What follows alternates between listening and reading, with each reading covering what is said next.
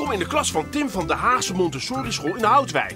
De 12-jarige Tim is hard aan het blokken, maar zijn interesse ligt heel ergens anders. Ik heb een eigen webradiostation op internet.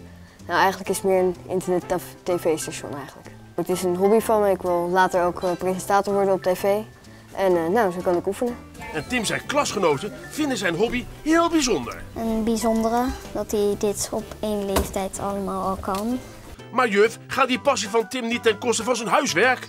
Nee, Tim heeft zijn werk altijd prima in orde, dus dat is, zit helemaal goed. Ik ben de directeur en wij zijn eh, trots op alle bijzondere kinderen binnen deze school.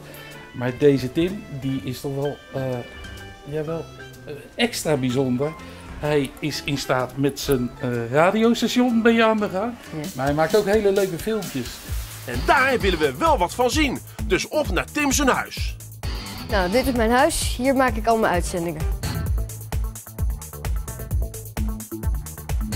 Nou, dit is mijn slaapkamer slash studio. En eh, hier gaan we vanmiddag uh, flexquiz opnemen. De flexquiz dus. En Tim, hoe gaan we dit dan opnemen? Hier zet ik een statief met een camera neer. Dan is hier zo een greenscreen, dat gaat naar beneden. En die tafel daar zo is dan een desk. En dan sta ik zo te presenteren. En waar komt jouw interesse dan vandaan? Voor, uh... Um, ja, weet ik eigenlijk niet. Ik bedoel, ik wou het altijd al worden. Ik hou van in de spotlight staan, zeg maar. Dus uh, ja, dit is wel uh, ja, de uitkomst voor mij. En wat de uitkomst vandaag is, is nog even afwachten. Want Tim gaat een proefuitzending presenteren van een quiz. Nog even op de computer zorgen dat het groene lager wordt omgetoverd tot fraaie achtergrond. Draaiboek erbij, camera aan en ik zeg actie!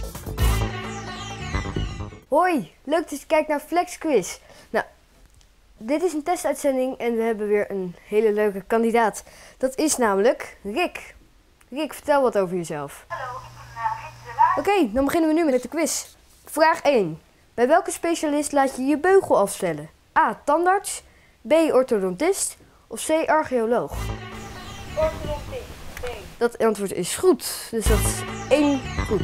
Aha. Wat wil je hier uiteindelijk mee bereiken? De Gouden Apenstaart. Dat is een, een award voor de beste website voor en door kinderen gemaakt. Ja, die wil ik wel graag winnen. Nee, het is fout. Het is koffie. En uiteindelijk beroemd worden? Ja, het liefst wel natuurlijk. Je hebt er maar twee fout.